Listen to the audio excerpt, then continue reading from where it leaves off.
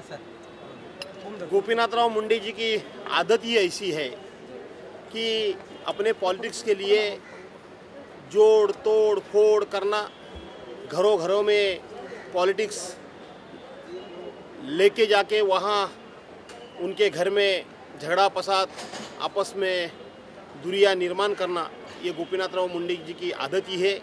इसके पहले भी उनका हिस्ट्री वही है। उन्होंने आज विजय कुमार गावित और उनकी लड़की हिना गावित, उनमें ऐसी दरार पैदा की है और उसका खामिजा डॉक्टर विजय कुमार गावित को भुगतना पड़ रहा है।